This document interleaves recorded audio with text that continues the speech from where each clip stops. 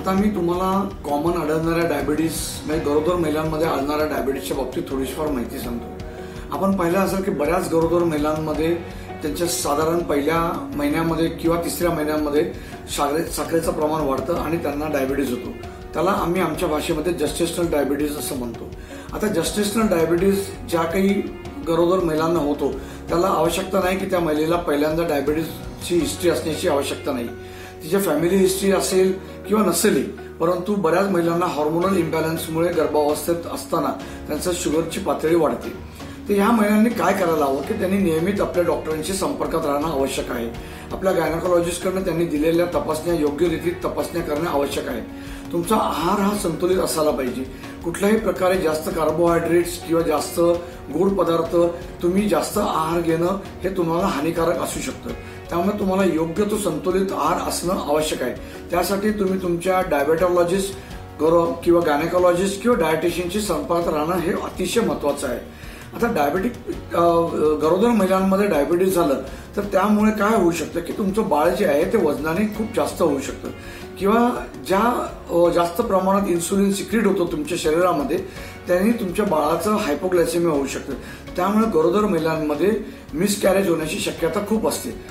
त्या हे मिसकॅरेज किंवा बाळ वजनापेक्षा जास्त होऊ नये यासाठी महिलांनी ही काळजी घेणं अतिशय आवश्यक आहे.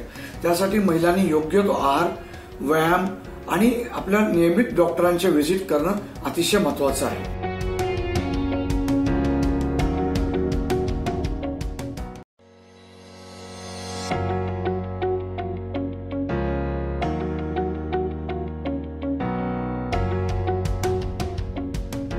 मी आता तुम्हाला थोडंसं तुमच्या डायबेटिक पेशंटशी जी जबाबदाऱ्या आहेत त्याची जाणीव करून देतो. डायबेटिक पेशंटने काय काय करणं काय नाही करणं अपेक्षित आहे हे त्याची तुम्हाला मी थोडंसं संभाषण करणार आहे. प्रत्येक डायबेटिक पेशंटनी त्यांना डायबिटीज झाल्यापासून डॉक्टरांनी दिलेल्या गोळ्या हे योग्य त्या प्रमाणात घेणं आवश्यक आहे. आपल्या दिलेल्या गोळ्या ज्या आहेत किंवा आपलं जे प्रिस्क्रिप्शन आहे ते डॉक्टरांकडनं योग्य प्रकारे समजून घेणं आवश्यक आहे. की कुठल्या गोळ्या कोणत्या वेळेला घ्यायच्या आहेत पंधरा मिनिटं नाश्त्याच्या अगोदर कोणती गोळी घ्यायची आहे नाश्त्याच्या नंतर कोणती गोळी घ्यायची आहे ती गोळी घेताना आपण काय कशा प्रकारे आपलं काळजी घेणं आवश्यक आहे ह्या सर्व गोष्टीच्या तुम्ही डॉक्टरांना विचारून तुम्ही याचं सहानिश करणं आवश्यक आहे. डॉक्टरांकडनं हायपोग्लायसिमिया म्हणजे काय? हायपोग्लायसिमिया झाल्यानंतर त्यांनी काय करणं पेशंटने काय करणं अपेक्षित आहे याची देखील माहिती पेशंटनी डॉक्टरांकडनं घेणं आवश्यक आहे. तसंच दिलेल्या गोळ्या वेळच्या वेळेला घेणं. तुमचं वजन नियंत्रणात ठेवणं योग्य तो व्यायाम करणं. डॉक्टरांनी सांगितलेल्याप्रमाणे योग्य तो आहारामध्ये बदल करून आहार नियंत्रित ठेवणे आवश्यक आहे. तुम्हाला जर काही ॲडिक्शन असेल म्हणजे काही लोक स्मोकिंग करतात किंवा काही ड्रिंकिंग करतात किंवा नॉनव्हेज खाण्याची जास्त सवय असते किंवा तेल तूप लोणी ह्या खाण्याच्या ज्या सवयी असतात त्या कशा प्रकारे नियंत्रणात ठेवणं ह्या देखील तुम्ही डॉक्टरांशी योग्य त्या वेळेला प्रत्येक वेळेला चर्चा करणं आवश्यक आहे. कुठल्याही परिस्थितीत डॉक्टरांनी दिलेल्या गोळ्यांच्या बाबतीत फेरफार करू नये. कारण तुम्ही फेरफार केल्यानंतर तुमच्या शुगर नियंत्रणामध्ये बाधा येऊ शकते. त्यामुळे दिलेल्या गोळ्या योग्य प्रकारे घेणं हे अतिशय महत्वाचं आहे. कुठल्याही प्रकारे डॉक्टरने दिलेल्या गोळ्यांना चॅलेंज करू नका. त्यांनी दिलेल्या गोळ्या त्याच ब्रँडच्या त्याच प्रमाणात घेणं आवश्यक आहे. कारण बऱ्याच वेळेला ब्रँड बदलल्यानंतर किंवा तुम्ही जर तुमच्या स्वतःहून जर काही फेरफार केलात तर त्यांनी तुम्हाला हानी पोचू शकते. डॉक्टरने दिलेल्या योग्य त्या वेळेला तुम्ही होम तुमच्या व्हिजिट्स करणं आवश्यक आहे. कारण प्रत्येक व्हिजिटला डॉक्टर तुमची शारीरिक तपासणी तुमचं ब्लड प्रेशर तुम्हाला होणाऱ्या मायक्रो आणि मायक्रो अँजिओपॅथिक जे कॉम्प्लिकेशन्स डायबिटीजचे असतात ते डॉक्टर बघत असतात.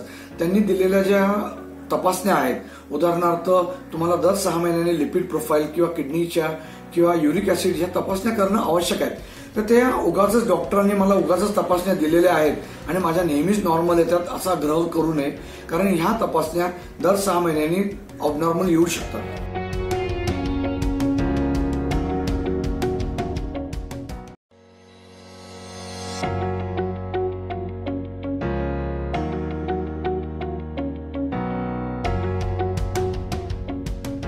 मी तुम्हाला आता डायबिटीसच्या काही कॉम्प्लिकेशनच्या बाबतीत माहिती देणार आहे. युजली आम्ही ह्या कॉम्प्लिकेशन्स मायक्रो आणि मॅक्रो कॉम्प्लिकेशन्स म्हणून आम्ही संबोधतो.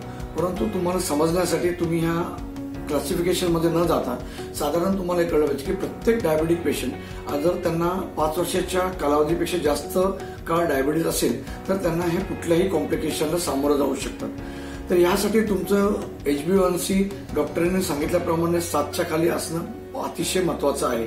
त्यामुळे प्रत्येक व्हिजिटमध्ये डॉक्टरांनी सांगितलेल्या तपासण्या आणि डॉक्टरांनी दिलेला आहार आणि डॉक्टरांनी दिलेला योग्य तो उपचार पाळणं आवश्यक आहे. आता ह्याच्यातनं काय होऊ शकतं? समजा तुमच्या शुगर्स अन प्रत्येक वेळेला जर अनकंट्रोल राहिल्या तर तुम्हाला डायबेटिक आय कॉम्प्लिकेशन्स होऊ शकतात. म्हणजे तुम्हाला कॅटरॅक्ट लवकर होण्याची शक्यता असते ग्लोकोमा होण्याची लवकर शक्यता असते तुम्हाला अंधत्व त्यामुळे होण्याची शक्यता असते.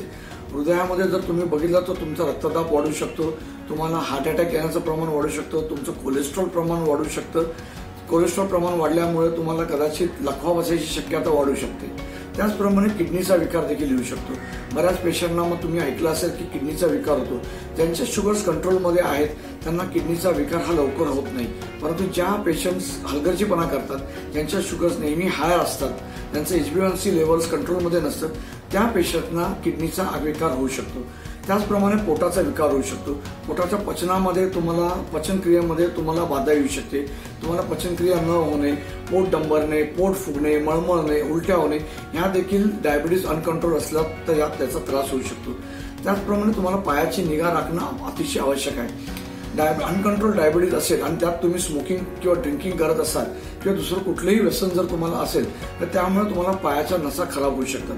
त्याने तुम्हाला पायावर मुंग्या येणे पायाला जळजळ होणे पाय दुखणे तुम्हाला चप्पल घातल्यानंतर चप्पल घातली आहे का न घातली आहे याचं समजणं अशक्य होऊ शकतं. आणि त्यानं त्यामुळे तुम्हाला त्या पायांना तुम्हाला बऱ्याच वेळेला इजा होऊ शकते ज्यांना आम्ही डायबेटिक फूड म्हणतो. हे डायबेटिक फूड झाल्यानंतर तो ट्रीट करणं अतिशय अवघड होऊ शकतं. त्यामुळे तुम्ही तुमची निगा राखणं अतिशय आवश्यक आहे. तसंच पायांना तुम्ही जर योग्य प्रमाणे तुमचं शुगर जर कंट्रोलमध्ये ठेवलं नाही नियंत्रणामध्ये ठेवलं नाही तर तुम्हाला पेरिफेरल व्हॅस्क्युलर डिसीज म्हणजे पायांना रक्तपुरवठा करणाऱ्या ज्या रक्तवाहिन्या आहेत त्या रक्तवाहिन्या देखील चोक होऊ शकतात. आणि त्या रक्तवाहिन्यांमध्ये अडथळा निर्माण झाल्यानंतर तुम्हाला पायांची इजा होऊ शकते. त्यामुळे कित्येक पेशंटना तुम्ही पाहिलं असेल की ज्यांचं अँप्युटेशन होतं. तर हे जर टाळायचं असेल तर तुम्ही डॉक्टरांशी नेहमी संपर्कात राहणं डॉक्टरांनी दिलेले उपचार योग्य तऱ्हेने अंमलात आणणं त्यांनी सांगितलेला आहार हा योग्य तऱ्हेने करणं आणि रोज नाही म्हटलं तरी एक तास व्यायाम करणं आवश्यक आहे.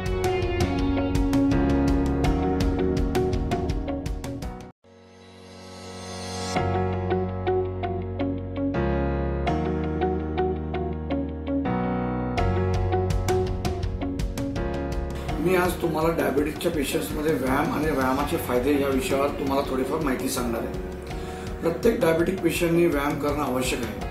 आता तो व्यायाम का आवश्यक आहे? तर व्यायाम केल्यानंतर तुमचं वजन कमी करण्यास तुमची मदत होते. तुमचा रक्तदाब आणि तुम्हाला स्ट्रोक होण्यापासून मदत मिळते. तुमचे इन्सुलिन ज्या पेशंटला इन्सुलिन रेजिस्टन्स असतो त्या पेशंट्समध्ये इन्सुलिन रेजिस्टन्स इम्प्रूव्ह होऊन शरीरात जे निर्माण होणारे इन्सुलिन आहे त्याचा तुम्हाला शुगर नियंत्रण करण्यामध्ये फायदा होऊ शकतो. तुम्हाला ताणतणावापासून त्याच्यात मुक्ती मिळू शकते. म्हणून नेहमी प्रत्येक पेशंटनी व्यायाम करणं आवश्यक आहे. आता कुठला व्यायाम चांगला आणि कुठला व्यायाम वाईट असं काही त्यातला फरक नसतो.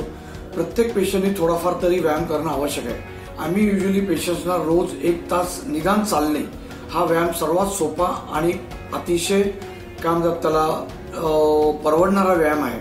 त्यासाठी तुम्हाला कुठल्या जिमला जाण्याची आवश्यकता काही लागत नाही. तुम्ही रोज एक तास जरी चाललात तरी तो व्यायाम तुमच्या दृष्टीने खूप महत्त्वाचा आहे.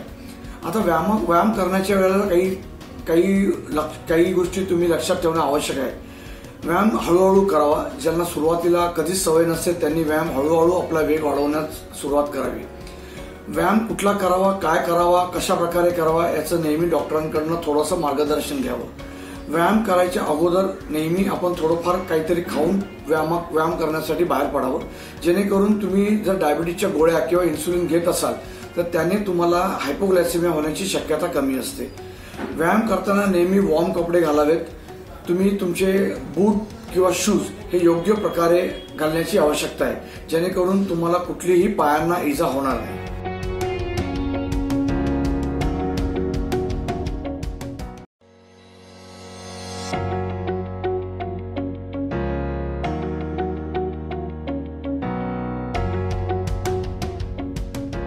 मी आज तुम्हाला डायबेटिक गॅस्ट्रोपॅरासिसची माहिती सांगणार आहे. डायबेटिक गॅस्ट्रोपॅरासिस म्हणजे काय? की ज्या पेशंटना पाच वर्षाच्या अधिक डायबेटीसचा त्रास जाणवत असतो त्या पेशंटमध्ये पचनक्रियेचा त्रास उद्भवतो.